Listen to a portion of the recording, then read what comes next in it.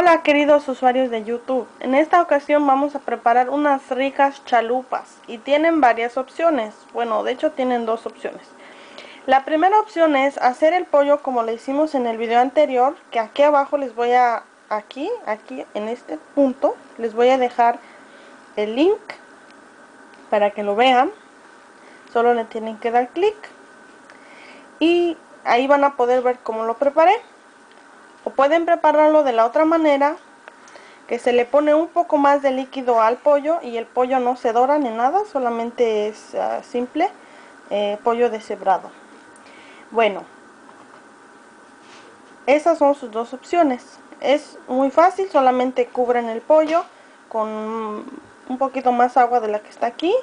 Le ponen un trozo de cebolla, un, unas cuantas hierbas de cilantro o menta y sal, lo dejan que se, cuando rompe hervir, le bajan el fuego y lo cocinan por unos 90 minutos hasta que esté suave y después se deshebra el pollo. Para esta receta necesitamos masa. Eh, pues si viven en México es fácil, ya ven que nada más van por, por la masa la tortillería y ya. Pero aquí ya ven como no la venden, la tenemos que hacer con maseca.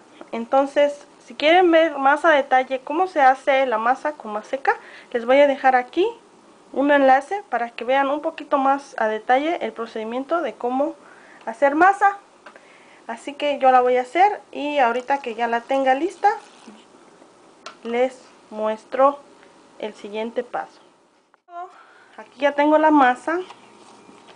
Lo que voy a hacer es, voy a tomar una porción y le voy a dar, la voy a amasar muy bien porque cuando no se amasa bien la masa, no se inflan. Le voy a dar una forma ovalada y la voy a aplastar. Y yo ya ven, como siempre tengo que andar aplastando mis tortillas de los dos lados porque la, más, la máquina esta me saca chuecas. Así que vamos a hacer así, de esta forma, las tortillas. Y solamente se van a voltear de dos lados las las estas tortillas para las chalupas.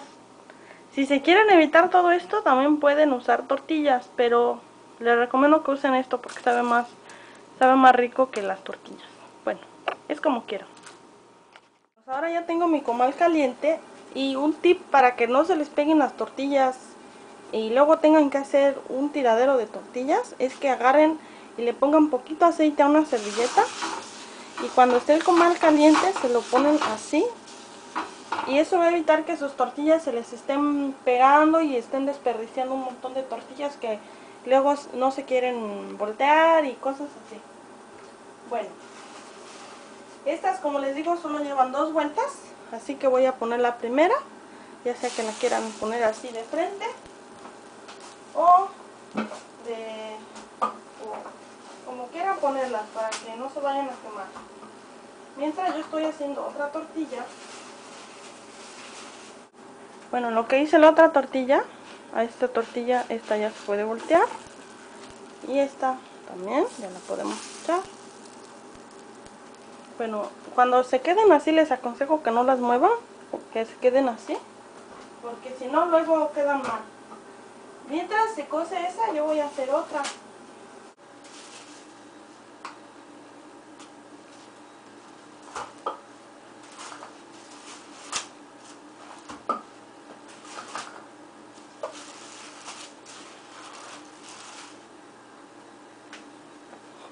Bueno, ya que fui a hacer la otra, voy a retirar esta.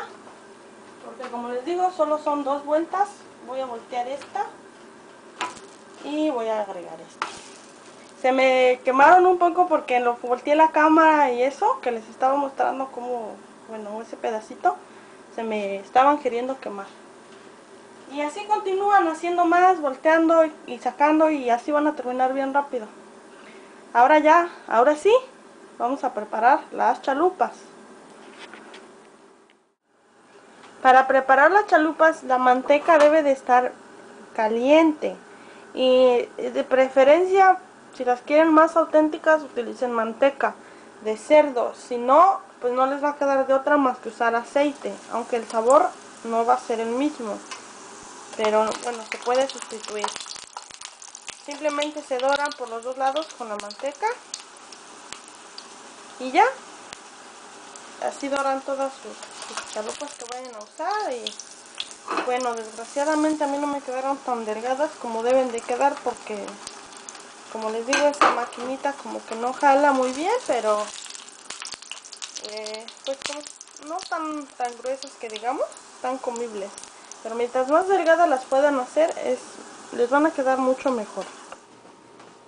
Bueno para para preparar las chalupas lo primero que van a hacer es que le van a poner hasta abajo le van a poner un poquito de la salsa que hicimos en el video que les hice para esta salsa. Si no lo han visto también se los voy a dejar ahí en la pantalla en estos momentos para que lo vayan a ver cómo la hicimos. Se le pone su salsita y se le pone su, su carne de pollo deshebrada al gusto. Y este le pone también cebolla picada queso. Pueden usar queso fresco o queso este de este que es como saladito. Queso añejo. Y por último aunque no es necesario pero le da un toque muy rico le voy a poner unas cuantas ramitas de cilantro picado eso es todo amigos así es como se preparan unas ricas y deliciosas chalupas poblanas bueno amigos, ahorita les voy a dar una idea porque siempre me preguntan que qué hacer de comer para los niños. Aunque yo luego no sé ni qué contestar porque como mis niños comen de todo, no, la verdad a veces no sé qué decir. Pero miren, esta es una idea. Y en lugar de salsa le voy a poner crema. Y de ahí es lo mismo, solamente le voy a poner pechuga de pollo, bueno, el pollo deshebrado Luego, se ve cuál va a ser para Alejandro y cuál va a ser para Miriam, ¿verdad? Y este queso.